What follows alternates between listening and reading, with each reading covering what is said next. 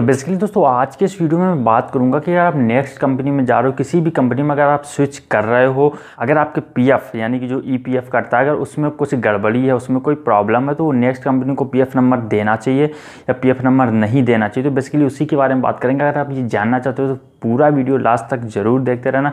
आपका जितना भी कन्फ्यूज़न है डाउट है, पूरा क्लियर हो जाएगा। और वीडियो शुरू करने से पहले एक करूँगा छोटी सी रिक्वेस्ट अगर आप मेरे चैनल पर नया आए हो तो प्लीज़ चैनल को सब्सक्राइब करके और बेलाइकन को भी हिट कर लीजिए।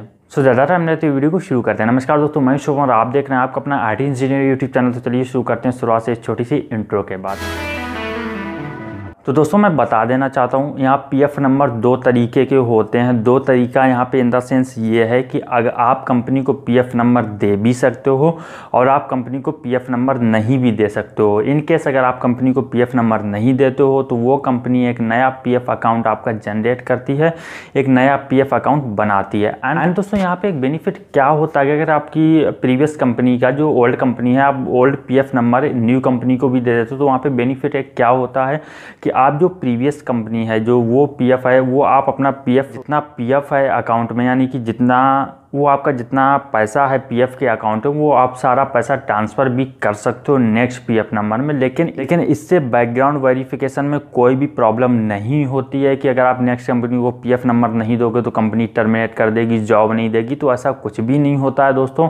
पीएफ नंबर आप दो या ना दो, वो आप पर डिपेंड करता है, लेकिन ऐसा बिल्कुल भी नहीं होता कि कंपनी आपको जॉब नहीं देगी या कोई और भी प्रॉब्लम वहाँ पर खड़ी हो जाएगी। क्योंकि दोस्तों यहाँ पी का एक रूल होता है, सीधा सा फंड, अगर आप उस कंपनी को पी पीएफ नंबर नहीं दे रहे हो तो कंपनी की वो एक पीएफ नंबर वहाँ पे आपको जनरेट करके सेल्फ देगी।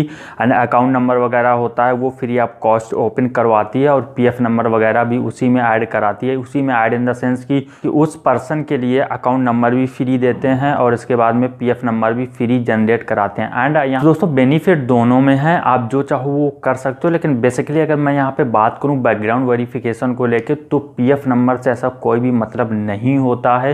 एंड कई सारे लोगों ने कमेंट्स किया था कि इनकम टैक्स का जो डॉक्यूमेंट्स होता है वो भी वहाँ पे देना पड़ता है तो ऐसा कुछ भी नहीं है। आप चाहो तो डॉक्यूमेंट्स वो दे भी सकते हो डॉक्यूमेंट्स नहीं भी दे सकते हो, कोई कंपलसरी नहीं होता है या वहाँ पे मैंडेटरी नहीं होता है कि आपको इनकम टैक्स डॉक्यूमेंट भी वहाँ पर शो कराना पड़ेगा, वो सारी चीज़ें तो ऐसी नहीं है। वो तब ये सारी प्रॉब्लम्स होती हैं जब आपके पास डॉक्यूमेंट्स ऑन रिटर्न नहीं होते हैं डॉक्यूमेंट्स ऑन मेल नहीं होते हैं, तब ये इन सब सारी चीज़ों की ज़रूरत पड़ती है। लेकिन अगर बात करूँ मैं सीधा सिंपल सा, आपके पास सारे डॉक्यूमेंट्स हैं, सारी चीज़ें रिटर्न में है ऑन मेल है, तब इन इन सारे डॉक्यूमेंट्स की ज़रूरत नहीं पड़ती है। आप चाहो तो हाइड कर सकते हो या दे भी सकते हो।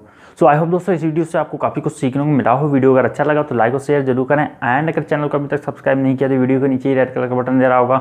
वहाँ पर क्लिक करके चैनल को सब्सक्राइब ज़रूर कर लीजिए और उसके बाद बेलाइकन को भी हिट कर लीजिए ताकि अगर मैं कोई नेक्स्ट वीडियो अपलोड करूँ तो वो मिस ना हो। इसके बाद भी अगर आपको कोई कॉमेंट्स है कोई नीचे, मुझे कॉमेंट सेक्शन में बता सकते हो, मैं उसका रिप्लाई ज़रूर दूँगा। अगर आपको ऑन स्पॉट आंसर चाहिए इंस्टाग्राम की आईडी आपको नीचे डिस्क्रिप्शन में मिल जाएगी। वहाँ पर मुझे फॉलो करके मेरे से क्वेश्चन कर सकते हो। वहाँ पर मैं ऑन स्पॉट आंसर दे देता हूँ। मेरा नाम है शुभम, मैं मिलता हूँ अपने नेक्स्ट वीडियो में।